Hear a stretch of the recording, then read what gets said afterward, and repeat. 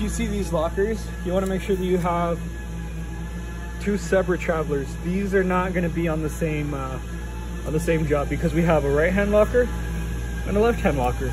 Now to tell the difference between the lockers, this is pretty fun because they look exactly the same. You're gonna look for these holes on the inside. See, I got these holes. So the holes are only on one side. They're not on the other side.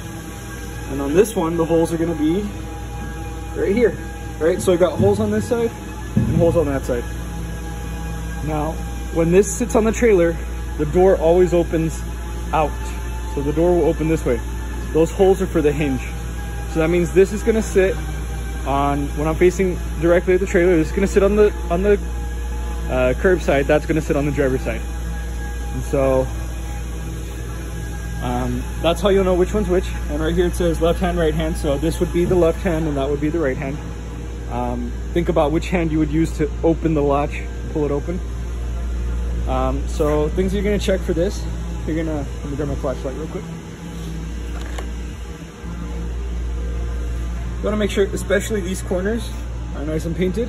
You're gonna get inside, look way up there, look in all your corners, and come down to the bottom. You're gonna look in here. You see this? This is okay.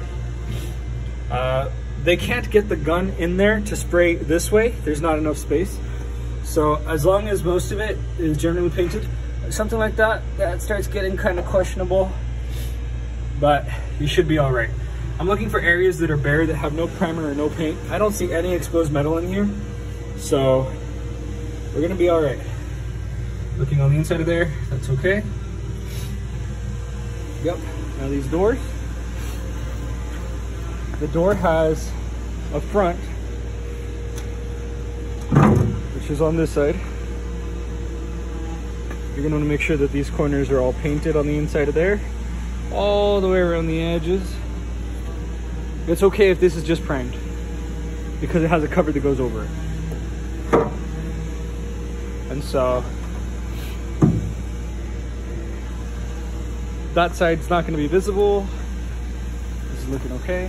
You're want to check the back of these also. That's very glossy and that's okay because it's not visible. And then you're just to go close the operations for that job and that job and quantity of one on that and quantity one on that.